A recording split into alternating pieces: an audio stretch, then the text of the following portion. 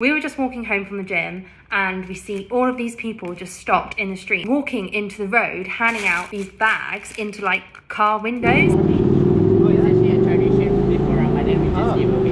This for you. What is it? It's a porridge. Porridge. Porridge. Okay. Oh, wow. Alright, have a good day. Bye. It's like savoury porridge, so it's gonna have chicken and things in. We're gonna try it. Oh, it's advertising ibis, anchovies sambal paste. So that's gonna be like a fishy spicy paste. Oh, gloopy and yellow. Oh, I like the smell of that. It just smells kind of like curry. Hmm. I'm gonna try it without the paste first. Mmm. Mmm. It reminds me of something. I don't know what that reminds me of. So you just add a little bit. Oh no, it's gonna be spicy, isn't it? Put a little bit on top. Oh yeah, I can feel the spice.